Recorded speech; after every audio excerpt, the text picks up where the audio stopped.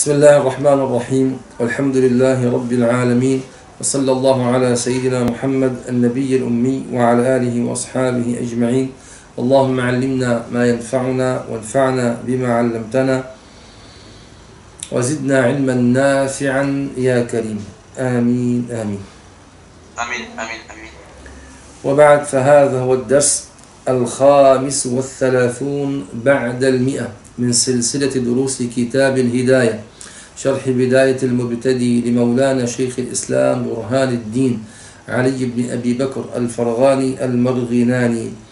رحمه الله تعالى ونفعنا به. آمين آمين. وصلنا إلى قوله رحمه الله ولو حلف بحج أو بصوم أو صدقة أو عتق أو طلاق أو فهو مول إلى هنا وصلنا أحبابنا. أنا شككت بالمكان الذي وصلت إليه. إذا تاخذ وإن آل من المطلقة. وإن آل. وإن آل من المطلقة. طيب أحسنت. الله. إذا قال وإن آل من المطلقة. الله. الرجعية. كان موليا وإن آل من المطلقة الرجعية كان موليا وإن آل من البائنة لم يكن موليا لأن الزوجية قائمة في الأولى دون الثانية. ومحل الإيلاء من تكون من نسائه بالنص. وإن آل من المطلقة الرجعية كان موليا. طلق زوجته طلاقا رجعيا. قال لها أنت طالق وهي في العدة وهي في العدة. نعم آل منها آل منها. حلف ألا يقربها أربعة أشهر. أو قال إن قربتك فعلي حجة. آل منها وهي في العدة. ما الحكم؟ قال كان موليا.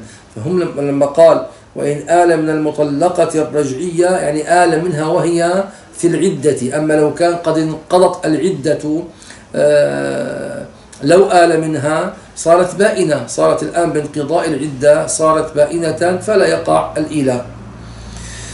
قال وإن آل من المطلقة الرجعية يعني وهي في العدة كان موليا وإن آل وإن آل من البائنة من المطلقة البائنة لم يكن موليا لماذا؟ لأن الزوجية الزوجية قائمة في الأولى قائمة في الأولى وهي المطلقة الرجعية لأنه قلنا المسألة مصورة أنه طلقها وهي في العدة وهي في العدة قال دون الثانية دون المطلقة البائنة الزوجية قد انقطعت بالبين لما قال لها أنت آه أنت طارق طلقة بائنة أو أنت بائنة ولو بذلك الطلاق وقع طلقة بائنة.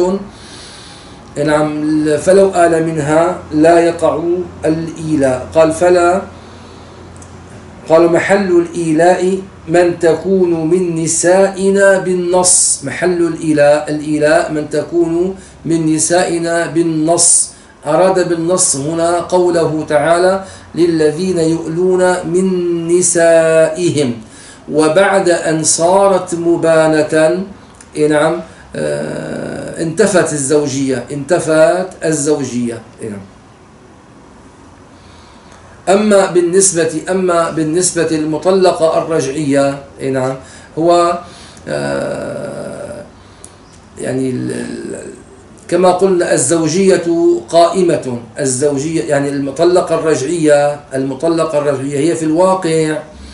آه، إذا كنتم تذكرون نحن قلنا أن الإيلاء الإيلاء آه، تقع فيها طلقة بائنة لأنه يكون بذلك قد حرمها هو حقها الذي هو الوطأ.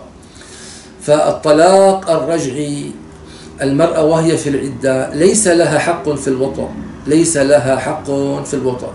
فقال الفقهاء تقع آه، يقع الإيلاء وهي في الطلاق الرجعي يعني في العدة في العدة وإن لم يكن لها حق في الوطأ ولكن يقع الإيلاء باعتبار أن الوطأ مباح باعتبار أن الوطأ مباح.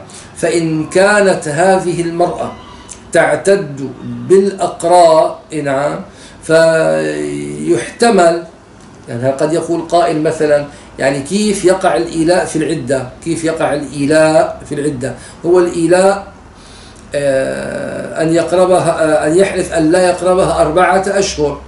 فالأصل أن المرأة المعتدة آه، تأتيها العادة الشهرية كل شهر مرة واحدة.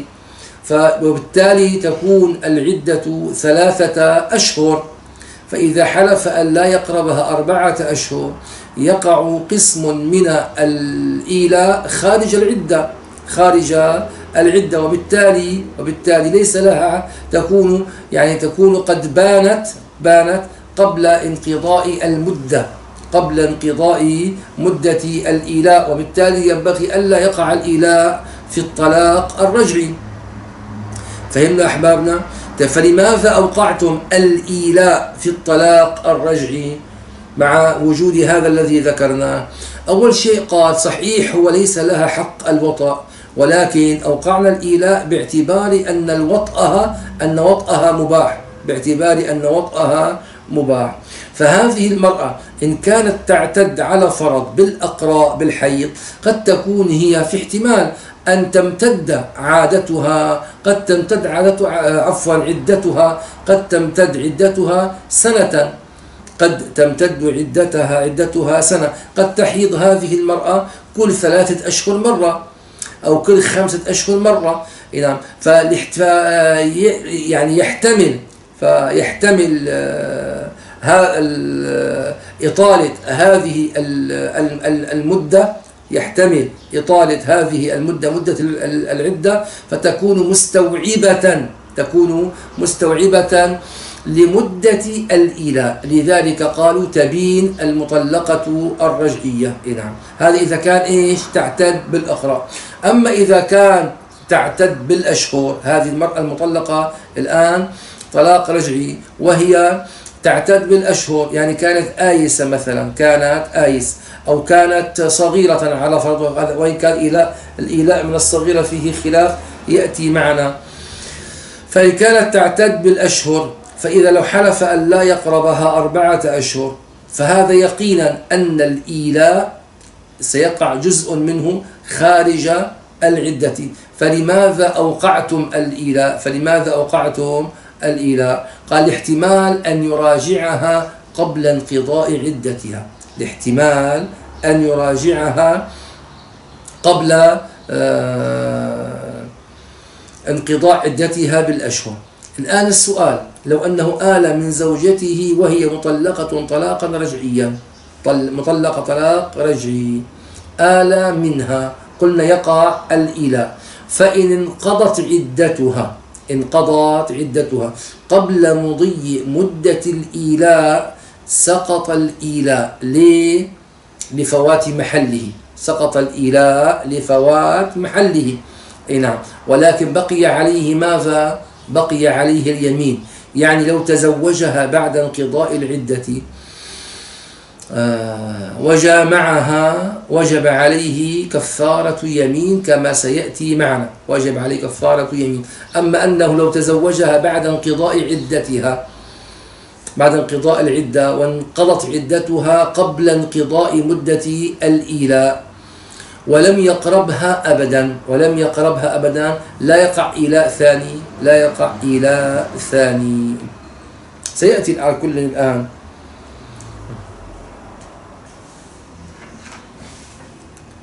قال فلو انقضت العدة قبل انقضاء مدة الإيلاء العدة الرجعية سواء كانت سواء كانت تعتد آه، بالأقراء أو كانت تعتد بالأشهر فإذا فلو انقضت العدة قبل انقضاء مدة الإيلاء ما الحكم؟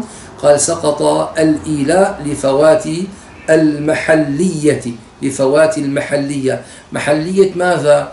يعني قال لفوات المحلية يعني لفوات محل محل آه، الإيلاء ما هو محل الإيلاء؟ قالوا محل الإيلاء الزوجية الزوجية ولكن كما قلنا كما قلنا لو وطئها لو وطئها لكفر لو وطئها لكفر إيه نعم لذلك قالوا قالوا رجل آلى من امرأته رجل آلى من امرأته. ثم بعد ذلك طلقها تطليقة بائنة. طلقها تطليقة بائنة. رجل آل من امرأته. قال والله لا أقربك أربعة أشهر أو قال إن قربتك فعلي حجة. ثم طلقها تطليقة بائنة. قال إن مضت أربعة أشهر من وقت الإيلاء. وهي في العدة قال وهي في العدة انتبه قال طلقات أخرى طلقة ثانية بالإيلاء. أعيد. رجل رجل آه آلة من امرأته قال والله لا أقربك أربعة أشهر. ثم قال لها ثم قال لها أنت طارق طلق أنت بائنة. أنت طارق طلق بائنة.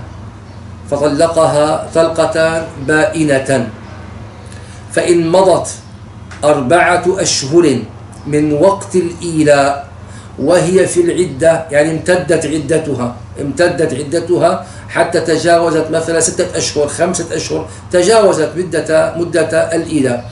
فإن مضت أربعة أشهر من وقت الإيلاء وهي في العدة. قال وقعت طلقة ثانية وقعت طلقة ثانية الآن بهذا الإيلاء بهذا الإيلاء.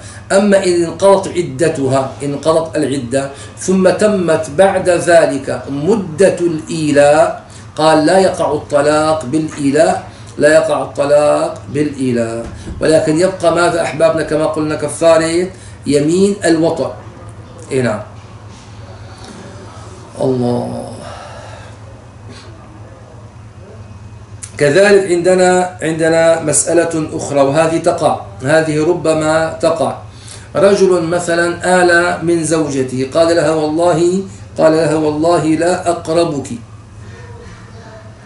ثم بعد ذلك طلقها ثم بعد ذلك طلقها سواء طلقها طلاقا رجعيا أو طلاقا بائنا طلقها. إي نعم. ثم بعد ذلك تزوجها. ثم بعد ذلك تزوجها. الآن إن تزوجها أعيد فأقول رجل آل من امرأته ثم طلقها ثم طلقها. ثم تزوجها بعد ذلك ثم تزوجها بعد ذلك. الآن إما أن يتزوجها وهي في العدة وإما أن يتزوجها بعد انقضاء العدة. فإن تزوجها قبل انقضاء العدة كان الإيلاء على حاله. كان الإيلاء على حاله. إن تزوجها قبل انقضاء العدة كان الإيلاء على حاله حتى لو تم أربعة أشهر. أربعة أشهر. من وقت الإيلاء. لا من وقت التزوج من وقت الإيلاء يقع عليها تطليقة أخرى بحكم الإيلاء. هذه إن تزوجها وهي في العدة. أما إن تزوجها بعدما طلقها وبعد انقضاء العدة إيه نعم انتبه بعد انقضاء العدة تزوجها بعد انقضاء العدة كان موليا كان كذلك موليا قال ولكن تعتبر مدة الإيلاء من وقت التزوج. فالفرق بينهما الآن الفرق بينهما أن في الصورة الأولى إن تزوجها وهي في العدة تزوجها وهي في العدة أن أن الإيلاء يكون من وقت اليمين. أما إن تزوجها بعد انقضاء العدة يكون يكون الإيلاء إن تزوجها بعد انقضاء العدة يكون الإيلاء من وقت التزوج. يكون الإيلاء من وقت التزوج. واضح إن شاء الله الكلام أحبابنا؟ ثم بعد ذلك قال ولو قال لأجنبية. والله لا أقربك والله لا أقربك. أو أنت أو ظاهر منها يعني أو أنت علي كظهر أمي ثم تزوجها ثم تزوجها لم يكن موليا ولا مظاهرا. لأن الكلام في مخرجه وقع باطلا. لما نطق هو بهذا الكلام في مخرجه يعني لما نطق به لما نطق به وقع هذا الكلام باطلا. لماذا؟ قال انعدام المحلية لأن هذه المرأة أجنبية ليست محلا للإله وليست محلا للظهار فوقع الكلام باطلا لانعدام المحلية. فلا ينقلب صحيحا بعد ذلك. قال وإن قربها كفر وإن قربها وطئها كفر. ليه؟ قال لتحقق الحنث. وقال والله لا أقربك. إذ اليمين منعقدة في حقه. في حقه في حق من؟ قال في حق الحنث. إذ اليمين منعقدة في حقه يعني في حق الحنث. هذا إذا قال والله لا أقربك. أما آه، في قوله أنت علي كظهر أمي لو كان مظاهرا إيه نعم. إذا لما قال إذ اليمين, إذ اليمين منعقدة في حقه في حق الحنث هذا في إيش؟ في حق اليمين في في فيما لو قال لها والله لا أقربك. آه، أما أما في في قوله أنت علي كظهر أمي فلو أنه وطئها بعدما تزوجها وكانت أجنبية وقت الظهار لا شيء عليه لا شيء عليه. أم ليه؟ لأن في الأولى كان عندنا يمين كان عندنا يمين وقد وجد الآن الحنث فتجب الكفارة. أما في الظهار لا يوجد يمين فلا يجب عليه شيء. قال ومدة إيلاء الأمة شهران لأن هذه مدة ضربت أجلا للبينونة لأن هذه أي مدة الإيلاء ضربت أجلا للبينونة. فتتنصف بالرق تتنصف بالرق يعني بسبب الرق كما في آه، طلاقها طلاقها طلقتان.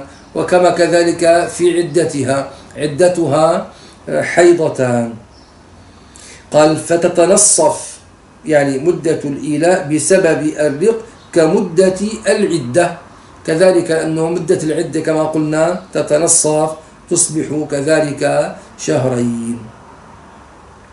فلو أن لو أن آه، زوجها طلقها لو أن زوجها طلقها رجل متزوج أمه. طلقها بعد الإيلاء. رجل متزوج أمة. طلقها بعد الإيلاء. طلاقا رجعيا. طلاقا رجعيا. أو طلاقا بائنا. أو طلاقا بائنا. إذا رجل متزوج لأمة. إيه نعم. آلى منها. قال والله لا أقربك. وهي أمة. وبعد ذلك طلقها طلاقا رجعيا أو طلاقا بائنا. وبعد أن طلقها إذا أول شيء آل منها ثم طلقها ثم بعد أن طلقها أعتقها سيدها وهي في المدة وهي في المدة. ما الحكم؟ قال انتقلت المدة من مدة الإماء إلى مدة الحرائر إلى مدة إيلاء الحرائر. إن كان قد طلق آه، إن كانت اعتقاد وهي في المدة وهي في المدة. أي نعم. واضح الكلام إن شاء الله تعالى. إذا تنتقل المدة.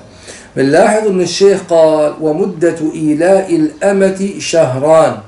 مدة إيلاء الأمة شهران. أطلق الكلام. فشمل ما لو كان الزوج حرا أو كان عبدا أو كان عبدا إيه نعم. طيب سؤال الآن لو أن السيد لو أن السيد آل من من أمته السيد آل عنده أمة فقال والله لا أقربك أربعة أشهر. هل هذا يقع إيلاء أم لا يقع إيلاء قال لا يقع إيلاء ليه؟ قال لأن شرط الإيلاء أن يقع أن تكون المولى منها زوجته. وهذه صحيح أنه يجوز له أن يقربها ولكنها ليست زوجة له ليست زوجة له فلا يقع إيلاء السيد المولى من أمته. قال وإن كان المولي مريضا إن كان المولي مريضا لا يقدر على الجماع.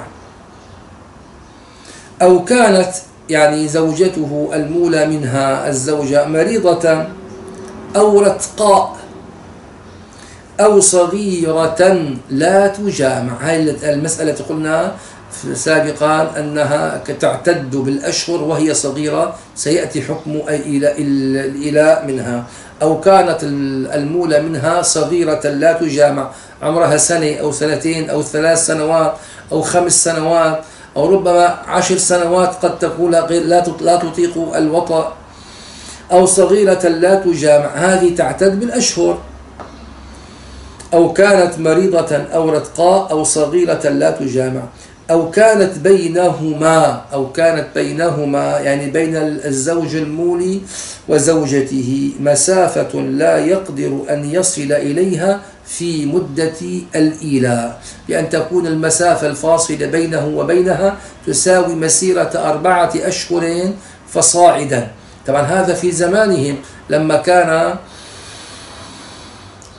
يعني لما كان آه، السفر السفر على الدواب الآن السفر بساعة أو ساعتين تصل أي تقريبا خمس ساعات يوم يومين ثلاثة تصل إلى أقصى, أقصى منطقة في الدنيا. ولكن كذلك هنا في عندنا الآن مش مشكلة الفيزا. يعني مثلا صحيح في عندنا منا مثل الطيارات إذا إنسان مثلا مقيم على فرض في دمشق وزوجته مثلا في طوكيو يحتاج مثلا إلى عشر ساعات بالطائرة فهو آه، آل منها آل منها. قال والله لا أقربك أربعة أشهر أربعة أشهر. ما الحكم؟ قال يقع الإله يقع الإله ليه؟ هلا أنت قد تقول لي أنت مثلا يصل إليها مثلا خلال خمس ساعات أو عشر ساعات نعم أو يوم يومين ثلاثة أربعة ممكن. لكن عند منك مثلا عندنا موضوع موضوع الفيزا. موضوع فيزة السفر. فهذه لا تعطى فإذا كان هو غير قادر على الحصول عليها عليها نعم. فيقع يقع الإيلاء بمضي هذه المدة. يقع الإيلاء. على كل قال أو كانت بينهما مسافة لا يقدر أن يصل إليها في مدة الإيلاء. كيف الآن يفيء بهذا الإيلاء؟ يعني كيف يبطل هذا الإيلاء؟ أن إبطال الإيلاء أحبابنا كما تعلمون بالوطأ. إنسان مثلا آل من زوجته آل كي لا تقع الطلقة كي لا تقع قال والله لا أجامعك. وهو أراد الآن أن يلغي هذا الإيلاء كي لا تقع طلقة. كيف يكون إلغاء هذا الإيلاء كي لا تقع طلقة بمضي المدة. كيف؟ قال يقع. إلغاء هذا الإيلاء بالفيء لزوجته. إيه نعم. والفيء الرجوع يعني إلى الزوجة. إما أن يكون باللسان وإما أن يكون بالوطء متى يكون الفيء باللسان حيث يتعذر الوطء؟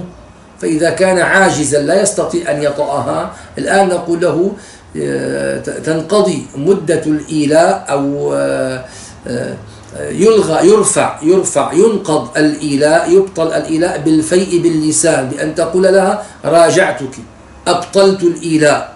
الآن يكون إيش؟ قد أبطل الإيلاء. ولكن بقي عليه ماذا؟ بقي عليه اليمين أنه حلف أن لا يقربها أما إذا كان قادرا على وطئها كان قادرا على وطئها فلا يكون الفيء إلا بالوطأ. لا يكون الفيء إلا بالوطء لا يرتفع الإيلاء إلا بالوطء الآن خطر في بالي مسألة أحبابنا. هل هذه مسألة مسألة المسافة الطويلة؟ المسافة البعيدة. يعني إنسان كما قلنا واحد في دمشق وزوجته في طوكيو يستو ونقول معه الآن هو الآن آه، جواز سفر يعني يؤهله لتجوال في العالم كله.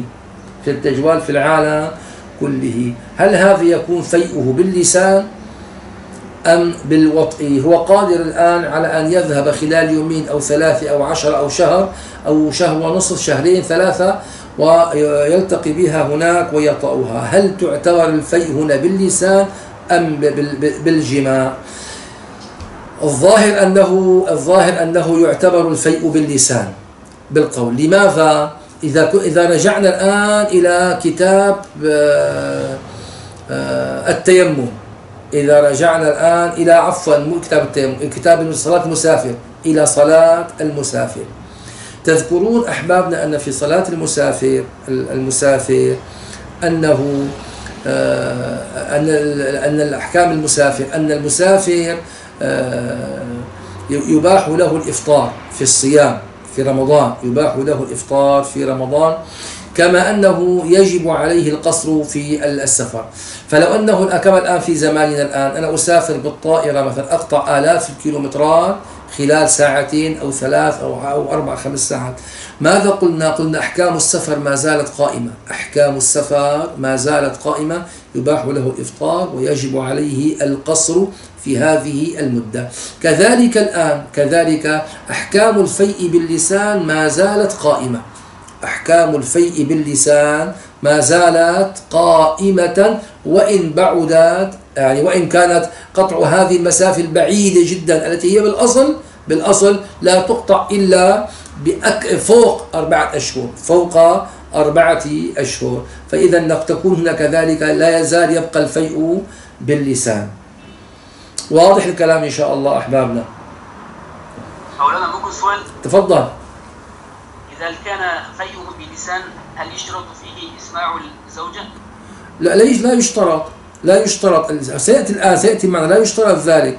يعني يكفي هو يكفي أن يقول بلسانه كما سيأتي معنا. يكفي أن يقول فئت إليها.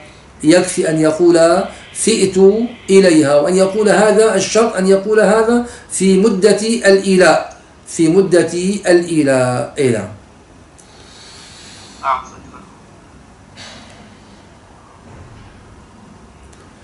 قال أو كانت بينهما مسافة لا يقدر أن يصل إليها في مدة الإيلاء.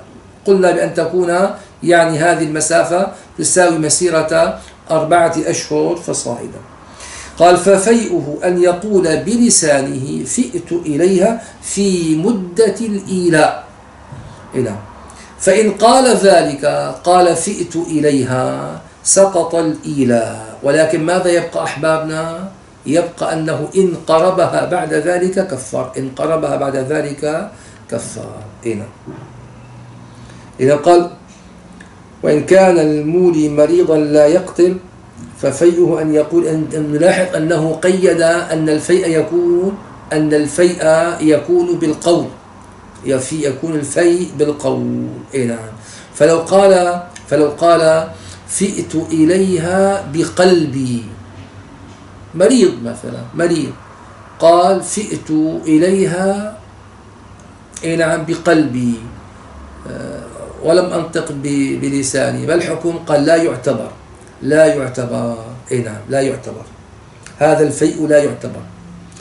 كذلك نلاحظ الشيخ أنه قال قال ففيئه أن يقول بلسانه فئت إليها. فئت إليها. طيب هل المراد هنا بالفيء اللفظ خصوص اللفظ يعني خصوص لفظ الفيء؟ خصوص يعني لو أنه قال مثلا راجعتك أو قال ارتجعتك أو قال مثلا أبطلت الإيلاء على فرض استبدلها. إيه نعم. هل يقع هذا هل يعتبر هذا فيئا أو لا يعتبر فيئا؟ قال يعتبر فيئا. فليس المراد ليس المراد بقوله فئت إليها خصوصا خصوص اللفظ ليس هذا ليس هذا مرادا. بل المراد هو أن يبطل الإله بأي لفظ استطاعه. إيه نعم. هلا بنلاحظ أحبابنا كذلك الشيخ أنه قال وإن كان المولي مريضا لا يقدر على الجماع أو كانت مريضة أو رتقاء. يعني أراد بالشيخ بذلك أن هناك يعني لما آل منها آل منها نعم كان عاجزا عن الوطأ. كان عاجزا عن الوطأ. نعم. فذكر لنا الشيخ من صور الوطأ من صور العجز أن تكون أن يكون مريضا أن تكون هي رتقاء أن تكون مسافرة. كذلك من صور العجز أحبابنا أن تكون هي ممتنعة منه أن تكون ممتنعة منه. يعني امرأة هي قد تكون ساكنة في نفس البيت في نفس البيت أو في في في البيت المجاور في البيت المجاور عند أهلها. هي ناشز يعني هي ناشز أو كانت مسا في نفس الحي ولكن في مكان هي ولا يعرفه فهي ممتنعة منه هي ممتنعة منه. أو ربما كانت محبوسة أو كان هو محبوسا لا يقدر أن يجامعها غير قادر على مجامعتها في السجن. كذلك يكون إيه نعم فيئه باللسان يكون فيئه باللسان إيه نعم فإن قدر على جماعها فإن قدر على جمعها على جماعها يكون الفيء بالوطأ يكون الفيء بالوطأ. أي نعم. الله.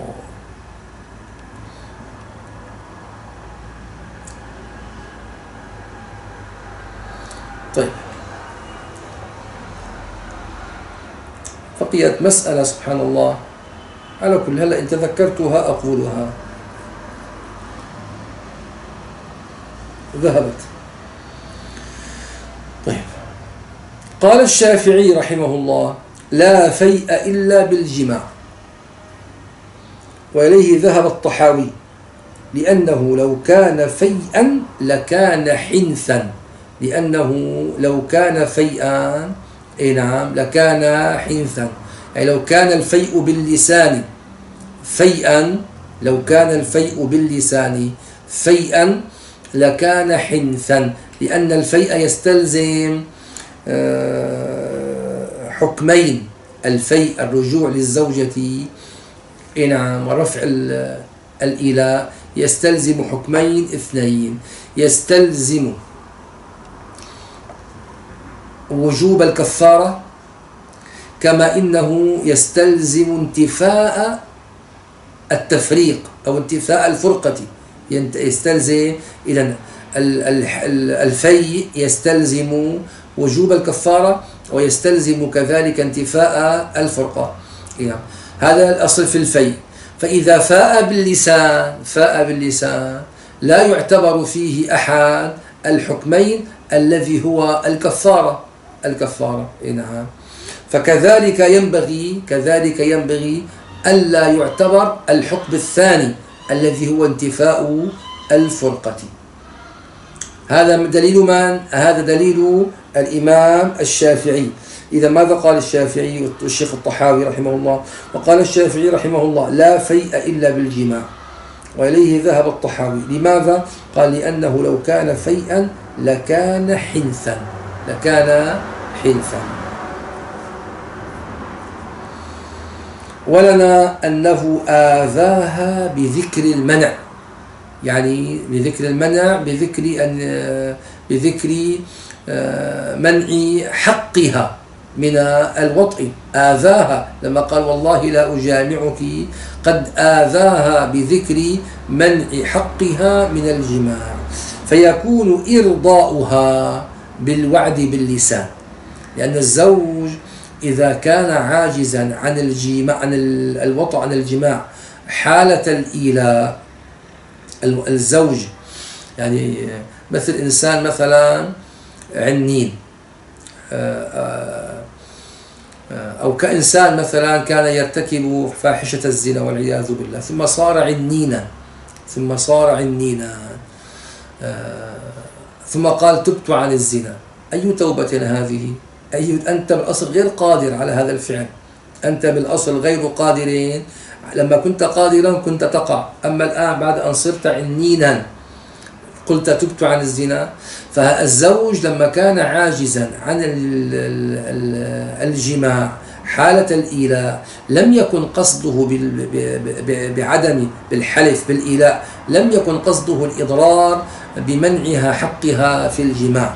لأنه هي لا حق لها في في في في الجماع وقت عجزه وقت عجزه عن الجماع لا حق لها في ذلك. وإنما قصد فقط لما قال والله لا أجامعك والله لا أطأك قصد بهذا اليمين فقط إيذاءها باللسان إيذاءها باللسان. فهذا ظلم لساني. والظلم اللساني يرتفع كذلك آه، بعدل لساني ما هو العدل اللساني في هذه المسألة؟ أن يقول لها فئت إليك أرجعتك أبطلت الإيلاء. هذا دليل إمامنا أبي حنيفة. إذا ولنا أنه آذاها بذكر المنع.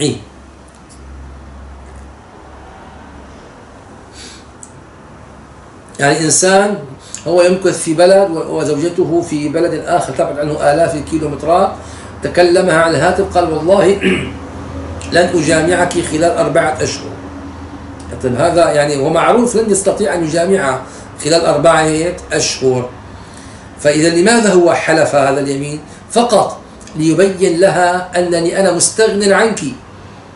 فإذا هو أراد فقط إيحاشها إيذاءها بالكلام. قال أنه أذى آذاها بذكر المنع. آذاها بذكر المنع فيكون إرضاؤها بالوعد باللسان. قال وإذا ارتفع الظلم لا يجازى بالطلاق. أي نعم لا يجازى بالطلاق. لأنه الأصل الشارع طلب منا أن نسوي أن نسوي في الجزاء أن يكون التسوية بحسب الجناية جنى عليها بلسانه ثم بعد ذلك رفع الجناية كذلك بلسانه. سيدي لو سمحتم. تفضل مولانا. آه، آه، أكرمكم الله. المسافة التي لو كانت بعيدة منهم بحيث لا يتمكن من وضعها في المدة هل هي كما سمعت أذكر في الدرس السابق ثمانية أكثر من ثمانية أشهر؟ انتبه علي الآن. أحسنت. هلا إحنا الاصل الأصل هذه فيها المساله هذا فيها خلاف. هذه المسألة فيها خلاف. أن قالوا الأصل أن تكون المسافة أربعة أشهر. أربع آه، بمقدار مدة الإيلاء. ولكن بعض فقهائنا ماذا قالوا؟ إن كانت أربعة أشهر ثمانية أشهر ثمانية أشهر. فإذا كان هو بحيث خرج من بلده وهي خرجت من بلدها خرجت من بلدها. نعم. والتقيا والتقيا في مكان يكون أقل من أربعة أشهر يقال لا إلاء في ذلك. لا إلاء لا يكون هذا لا يكون لا يكون آه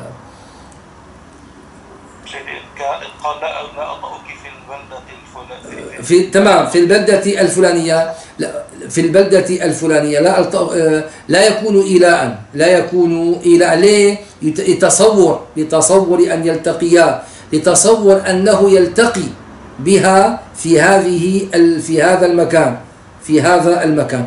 ولكن الآن مسألتنا مولانا هي الآن هي على الفيء أنه ليس مسألة أنه أنه هل يفيء لها يفيء باللسان؟ أم يفيء بالوطن الآن المسألة اختلفت. الآن المسألة المقررة. هل يتعين عليه الفيء بالوطء؟ أم يكفي أن يفيء بلسانها كي يرتفع حكم الطلاق والتفريق؟ هذا الفرق بين المسألتين.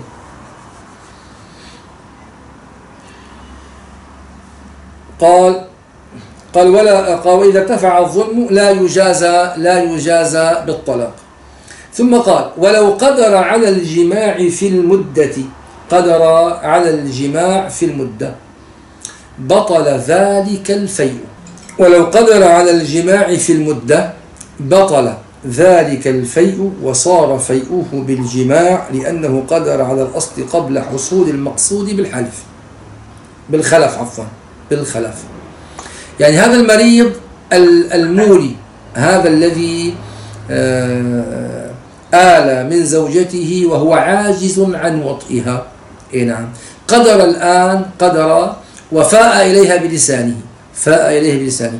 قدر الآن على الفيء آه، قدر على الفيء بالوطء قدر على الفيء بالوطء ما الحكم؟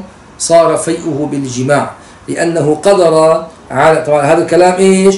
قدر على الجماع وهو في مدة الإيلاء في مدة الإيلاء. صار نقول له الآن صار حكمه كحكم إنسان آه، تيمم ليصلي تيمم ليصلي. إيه نعم. وهو في الصلاة قدر على الماء ما الحكم؟ بطل صلاته. بطلت صلاته. فوجب عليه أن يستأنفها بالماء لأنه قدر على الأصل قبل حصول المقصود بالخلف. كذلك الآن الفيء باللسان هو خلف الفيء باللسان هو خلف عن عن الفيء بالوطأ الفيء باللسان. فلما صار قادرا على الفيء آه، بالوطأ بطل بطل الفيء باللسان. قال لأنه قدر على الأصل قبل حصول المقصود. إيه نعم. صار قادرا على الوطء قبل تمام مدة الإله قال وإذا قال لامرأته أنت علي حرام سئل عن نيته. وهذه مسألة هامة جدا. يعني كثير ما يحلف الإنسان وكنا نسمع هذا الكلام أن فلان قال لزوجتي قال علي الحرام كذا أو قال أنت علي حرام. إيه نعم. قال آه، فإذا قال لامرأته أنت علي حرام أنت علي حرام. قال لامرأته قال لامرأته إيه نعم. يعني قيد بالزوج قيد بالزوج فقال آه، إذا قال لامرأته هنا الذي حلف بالحرام من؟ إيه نعم هو الزوج. لأن الزوج أحبابنا وهذا يقع وهذا يقع. أنا سئلت أكثر من مرة عن هذه المسألة. الزوجة الزوجة لو قالت لزوجها أنا عليك حرام. كما هو يقول أنت علي حرام قالت هي أنت علي حرام أو عفوا أنا عليك حرام. إيه نعم؟ أو آه، حرمتك. أو حرمتك. ما الحكم؟ ما يقع طلاق. ولكن هذا يمين. هذا يمين. امرأة تمزح مع زوجها. قالت له أنا عليك حرام. إن فعلت ذلك أو حرمتك على نفسي. هذا يمين. فلو وطئها لو جامعها آه، طائعة أو مكرهة ما الحكم؟ قال تحنث. وجب عليها كفارة يمين. وجبت عليها كفارة يمين. إيه نعم. حتى لو كانت مكرهة حتى لو كانت مكرهة جامعها مكرهة إيه نعم وجبت, آه، وجبت عليها كفارة يمين. بخلاف بخلاف ما لو أنها لو حلف إنسان مثلا بخلاف ما لو حلف إنسان لا يدخل هذه الدار. فأدخل هذه الدار مكرها. أدخل هذه الدار وهو مكره. أدخل وهو مكره. ما الحكم؟ قال لا يحنث. لو أدخل وهو مكره لا يحنث. كيف يعني أدخل وهو مكره؟ يعني حملوه وأدخلوه. إيه نعم قال آه لا يحنث. أما لو آه دع دعا دفع دفعا هكذا فدخل على قدميه دخل قال يحنث يحنث بذلك. إيه نعم. وإن قال لامرأته أنت علي حرام. إيه نعم. أنت علي حرام. الله. طيب. وإذا قال امرأته أنت علي حرام سئل عن نيته. لماذا يسأل عن نيته أحبابنا؟ لأن قوله أنت علي حرام هذا كلام مبهم. هذا كلام مبهم. هو يحتمل وجوه عديدة يحتمل وجوه معاني متعددة. وهذه المعاني المحتملة لا يمكن أن نميز بعضها عن الآخر إلا إلا بالنية. لذلك قال سئل عن نيته سئل عن هذا بعض الفقهاء ضرب مسألة هنا. ذكر مسألة. هو الأصل قال لزوجتي أنت علي حرام. قلنا يسأل عن نيته يسأل عن نيته. فلو قال أنه إنسان قال وقال رجل لامرأته أنت علي أنت علي كالخمر أو أنت علي كالخنزير كالخنزير أو أنت علي كالبول أو أنت علي كالدم. ما الحكم؟ قال هو يساوي قول قوله أنت علي حرام. يساوي قوله أنت علي حرام. كذلك إنسان قال لزوجته قال يعني لو قال أنت علي كما قلنا أنت علي كالخمر أو أو أضاف أو قال أنت علي لأي شيء نعم كان محرما لعينه محرما لعينه. فإذا كان قال أنت علي كأي شيء محرم لعينه قال كان هذا حكمه كأنه قالها أنت علي أنت علي حرام. إيه نعم. الله.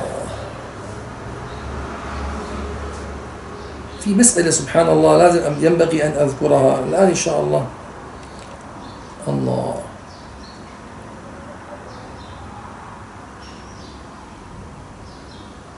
يعني إنسان مثلا مثلا قال ما بتز... ما بت... طيب ماشي نتابع أحبابنا. لم أستجمع المسألة. إذا فهمنا لماذا قال سئل عن نيته. قال فإن قال أردت الكذب فهو كما قال. فهو يعني يكون كذبا يعني يكون هذا كذبا. فإن قال أردت الكذب فهو كما قال لأنه نوى حقيقة كلامه. لأنه نوى حقيقة كلام أنه حقيقة حقيقة كلامه أنه وصفها بالحرمة. قال ما قال أنت علي حرام. إيه نعم. فقد وصفها بأنها محرمة عليه. ولكن في الواقع هي موصوفة بأنها حلال عليه فكان كذبا. هذا حقيقة كلامه. إيه نعم. فإذا قال فإذا فقي فإذا قيل ماذا أردت بقولك أنت علي حرام؟ قال نويت الكذب. نويت أن أن أن يعني أن هذا الكلام هو كذب وليس حقيقة. قال فلا يقع به طلاق الإله ولا يتعلق به شيء وإنما هو إنسان كذب بذلك فيتعلق بحق أنه ارتكب معصية الكذب.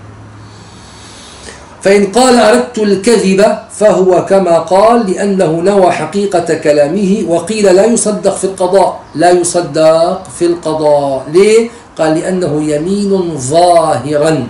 كيف يمين ظاهر؟ قال لأنه هذا بال... لما قال أنت علي حرام هذا تحريم الحلال. وتحريم الحلال عندنا يمين. لذلك كما قلت قبل قليل لو قالت لزوجي لزوجها أنت علي حرام كانت يمينا فإذا وطئها طائعة أو مكرها وجبت عليها كفارة يمين. فإذا قال لها أنت علي حرام وقال نويت بذلك الكذب قال بعض الفقهاء قال لا يصدق. ليه؟ قضاء. لماذا؟ قال لأن قوله أنت علي حرام أنت هذا يمين لأن فيه تحريم الحل الحلال فهو يمين. هذا معنى قوله لأنه يمين لأنه يمين ظاهرا. أما فيما بينه وبين الله عز وجل قال فيصدق. فيصدق. وهذا القول آه، لا يصدق في القضاء. هذا مروي عن الشيخ الطحاوي والكرخي رحمهما الله تعالى. يوجد من فقهائنا من صحح هذا القول من قال هو المفتى به ما صححه يعني. وإن قال أردت الطلاق. قال أردت الطلاق فهي تطليقة بائنة. قال أردت بقول أنت علي حرام أردت الطلاق. قال فهي تطليقة بائنة. إلا أن ينوي الثلاث إلا أن ينوي الثلاث. فإذا نوى الثلاث وقع وقع آه ثلاث طلقات لماذا؟ قال لأن الحرام من ألفاظ الكنايات من ألفاظ الكنايات. وذكرنا سابقا أحبابنا أن طلاق الكناية إذا قال الرجل لزوجته أنت بائنة تقع طلقة واحدة بائنة تلقى طلقة واحدة. إيه نعم. مع احتمال الطلقات الثلاث. مع احتمال إذا يقع الأدنى مع احتمال الكل. يقع الأدنى مع احتمال الكل. إيه نعم. فالآن إذا قال نويت الطلاق قال أنت بائنة أو أنت علي حرام قال نويت الطلاق. تقع واحدة تقع طلقة واحدة. أما لو نوى ثنتين لا يقع الثنتان لا تقع الثنتان لأن الألفاظ الكناية أن اللفظ عندنا لا يحتمل العدد لا يحتمل. وذكرنا هذا سابقا لا يحتمل العدد. فلذلك إن نوى الطلاق تقع طلقة واحدة.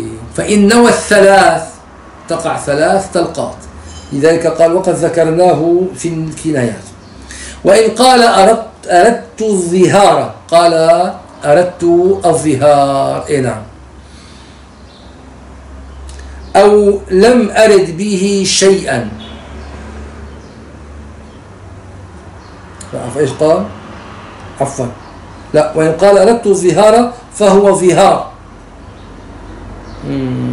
وإن قال أردت الظهار فهو ظهار. وهذا عند أبي حنيفة وأبي يوسف رحمهم الله. وقال محمد رحمه الله ليس بظهار. ليه؟ قال لانعدام التشبه أو التشبيه بالمحرمة. وهو الركن فيه. وهو يعني التشبيه بالمحرمة هو الركن في الظهار. ولهما أنه أطلق الحرمة. لهما لأبي حنيفة وأبي يوسف أنه أن الزوج أطلق الحرمة أطلق الحرمة لأنه لم يقيدها بشيء لم يقيدها بشيء. والمرأة والمرأة تارة تكون محرمة بالظهار وتارة تكون محرمة بالطلاق فهو أطلق الحرمة. قال أنت علي حرام ولم يقيد هذا هذا التحريم بوصف بشيء فأطلقه. وهو يحتمل أي نوع من أنواع التحريم؟ واضح؟ لذلك قال وفي الظهار نوع حرمة لأنه لو قال أنت علي كظهر أمي حرمت عليه حتى يكفر ففي الظهار نوع تحريم. لذلك صحت نية الظهار في قوله أنت علي أنت علي حرام. صحت نية الظهار. قال والمطلق يحتمل المقيد والمطلق يحتمل المقيد. ولذلك قالوا من نوى محت... هكذا قالوا من نوى من نوى محتمل كلامه صدق. قالوا من نوى محتمل كلامه صدق. قالوا إن قال أردت التحريم لما قال أنت علي حرام أراد أن يحرمها على نفسه. أو لم أرد به شيئا. فهو يمين يصير به موليا. يصير به موليا. لذلك لو أنه قربها بعد ذلك كفر عن يمينه. وإن لم يقربها وإن لم يقربها حتى مضت أربعة أشهر بانت بالإيلاء. بانت بالإيلاء. أحبابنا كما تعلموا أو كما سيأتي معنا إن شاء الله تعالى أن تحريم المباح عندنا تحريم المباح عندنا أو تحريم الحلال عندنا يمين. يمين. واستدلوا على ذلك بقوله تعالى يا أيها النبي لم تحرم ما أحل الله لك؟ ثم قال له بعد ذلك قد فرض الله لكم تحلة أيمانكم فدل على أن تحريم المباح يمين. تحريم المباح يمين. وإن قال أردت التحريم قل فإذا إيش هذا؟ يمين. لو أنه قال أنا لم أرد به شيئا لم أرد به شيئا إنا. قال كذلك هذا كذلك هذا يمين إنا. ثم قال ومن المشايخ من يصرف. الله. لفظ التحريم لفظة التحريم إلى الطلاق. ومن المشايخ من يصرف لفظة التحريم إلى الطلاق من غير نية. بحكم العرف. والله أعلم بالصواب. يعني من المشايخ من يصرف قوله أنت علي حرام إلى الطلاق مباشرة من غير نية. وهذا بحكم العرف. يعني لأن العادة جرت بين الناس. نعم. آه، في زمانهم أو في زماننا أو في أي زمان جرت بأنهم يريدون بقول إنسان يريد أن يطلق زوجته يقول لها أنت علي حرام أنت علي حرام. فإذا كان هذا فإذا كان هذا جرى به العرف جرى به العرف قال لها أنت علي حرام. قال ولم ينوي شيئا ولم يستحضر شيئا لا نقول له هذا إله وإنما نقول له هذا طلاق. نقول له هذا طلاق. ولا يصح أن نقول هذا إله نعم ثم قال باب الخلع. نقف هنا والحمد لله رب العالمين. ربنا تقبل منا وعافنا واعف عنا واقبلنا واحفظنا بأسرار الفاتحة.